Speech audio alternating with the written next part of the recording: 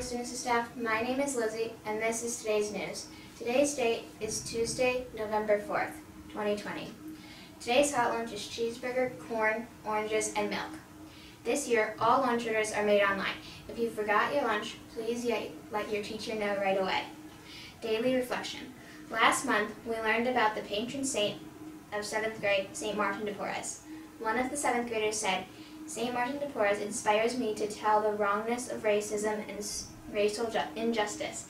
He also inspired me to be just in my actions. Another said, St. Martin de Porres has inspired me to treat everyone I meet with compassion and help them however I can.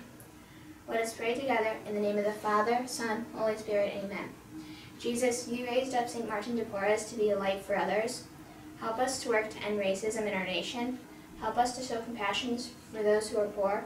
Strengthen all healthcare workers with compassion to take care of the sick, especially those sick with COVID-19. We ask this through the intercession of St. Martin de Porres. Let's, let us continue the day saying the Lord's Prayer. In the name of the Father, Son, and Holy Spirit. Our Father, who art in heaven, hallowed be thy name. Thy kingdom come, thy will be done on earth as it is in heaven. Give us this day our daily bread, and forgive us our trespasses, as we forgive those who trespass against us.